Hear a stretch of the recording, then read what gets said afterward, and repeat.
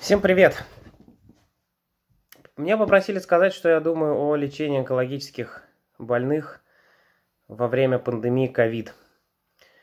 Ну, думаю я, наверное, не очень правильно, не очень много, потому что некогда, но и я не являюсь эпидемиологом, вирусологом, микробиологом, инфекционистом, но э, оценивая то, что нам э, предлагают сейчас авторы различных э, рекомендаций и люди, которые столкнулись с этой пандемией раньше нас, э, я могу сказать о том, какие внутренние выводы мы сделали из этой всей истории для себя на предстоящие пару-тройку месяцев. Как же лечить наших пациентов онкологических в ковид время? Ну, первое, мы и раньше всегда говорили о том, что не надо ничего лишнего, но теперь это становится не просто благим пожеланием, но и жизненной необходимостью. Никакого лишнего лечения, никаких лишних ПЭТ, никаких лишних обследований, которые приведут человека в систему здравоохранения, где он э, может э, столкнуться с этим вирусом и заболеть или заразить своих близких. А, мы точно знаем, что у онкологических больных э, шанс осложнений от ковида больше, чем у людей без онкологического диагноза. Также мы знаем, что, скорее всего, э, пациенты с онкологическим заболеванием цепляют ковид легче, чем, э, чем обычные люди. Об этом есть какие-то первые данные из Китая. И мы все это очень опасаемся. Мы знаем, что наша система э, здравоохранения перегружена лишними движениями, лишние анализы, э, лишние планы обследования перед операциями, перед выполнением химиотерапии и так далее. Э, все это нужно, чтобы соблюсти многочисленные требования и быть и не нарушить сотнестраничные приказы регулирующих органов – и вот сейчас мы все это радостно отменяем и говорим, что ничего этого, а, ничего лишнего не нужно.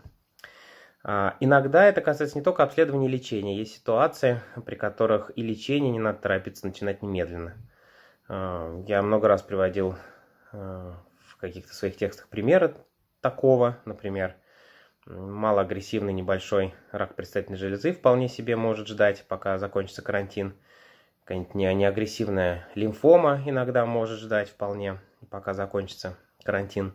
И много-много всего другого. Иногда лечение э, можно и прервать, если дополнительная польза от него маленькая, а риски заражения при столкновении с системой здравоохранения большие. А, но э, самое главное, что все это нужно, конечно же, обсуждать с своим онкологом или гематологом и очень тщательно взвешивать все риски и пользу от э, этих действий. Надо беречься медицинским работникам, потому что огромная проблема сейчас э, в очагах пандемии заключается в выбытии медицинских работников, хотел сказать, из легального оборота, но скажу просто из работы. Потому что мы понимаем, что система и наша в том числе работала на таком пределе, что зачастую выбытие одного врача или медсестры полностью останавливает весь процесс и заменить неким. И э, человек, э, когда выбыл сам, скорее всего, после него выбывает. Э, и э, другие сотрудники. И все это вплоть до полной остановки э, работы медицинского учреждения, медицинской организации.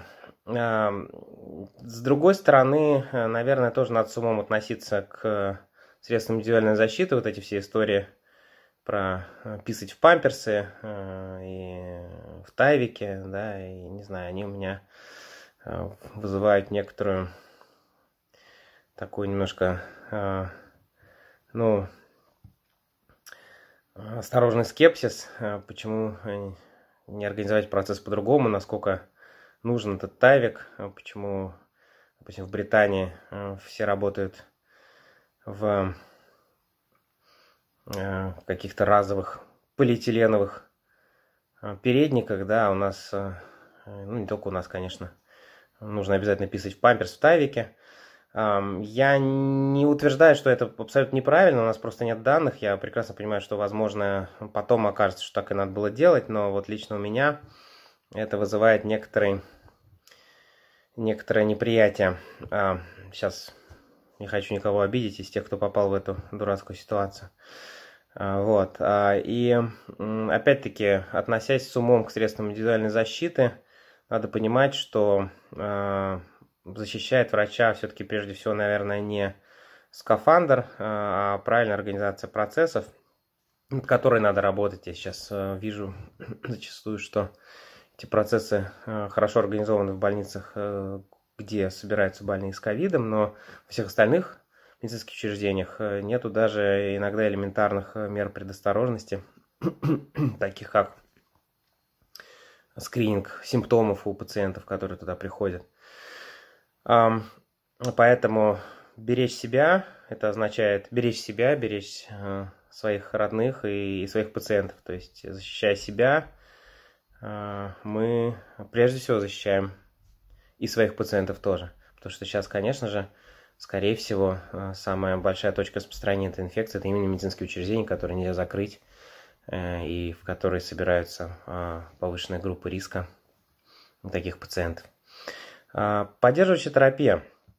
Ну, э, здесь, э, наоборот, тенденция, если мы говорим, что лишнее обследование, лишнее лечение не нужно, то вот в плане поддерживающей терапии тут, наверное, наоборот, нужна подстраховка, где-то даже лишнее использование поддерживающей терапии, а, например, факторов роста, которые позволяют во время проведения химиотерапии не проваливать анализы крови, не усугублять и без того присутствующий иммунодефицит у наших онкопациентов, да, и таким образом, чтобы они не заболевали, не попадали в больницы и не э, были под повышенным риском заболеть э, вот этой новой коронавирусной инфекцией. Э, и также все другие возможные э, лекарства для поддерживающей терапии, которые не позволят пациенту оказаться на больничной койке, да, такие там, самые сильные противорвотные – Э, использование эритропоэтинов, чтобы не было нужды в переливании. Может быть, даже где-то профилактических антибиотиков. Конечно, все это решается индивидуально, но основная цель сделать так, чтобы человек поменьше сталкивался с здравоохранением. Что еще? Мы знаем, что зачастую э, некоторые схемы химиотерапии, это уже для химиотерапевтов, можно заменить эм, можно заменить э, таблеточными формами. И, и даже э, если их полностью нельзя заменить таблеточной формой, иногда таблеточные формы помогают просто уменьшить количество визитов э, пациента в клинику, что тоже, безусловно, снижает риски.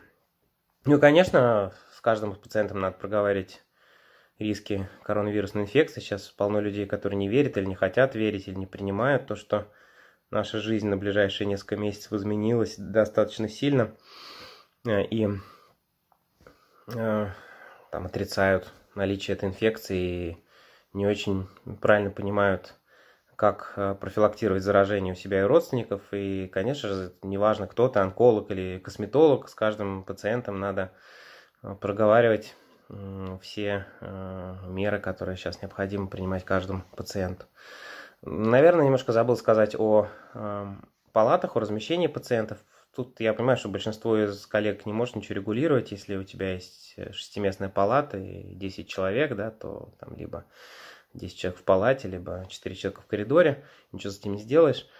Но, тем не менее, наверное, какие-то меры могут быть приняты э, для того, чтобы как-то изолировать людей даже там, такие простые, как, например, шторки на потолке, да, когда ты можешь каждое койко-место отделить такой шторкой. Э, и, конечно же, это не делает риски нулевыми, но, э, наверное, как-то их снижает, хотя, опять-таки, нет никаких исследований об этом, но где-то какая-то обычная бытовая логика зачастую неплохо помогает справляться с обстановкой. Хотя, конечно, потом всем нам будет очень интересно прочитать, какие меры сработали, а какие оказались совершенно бесполезными.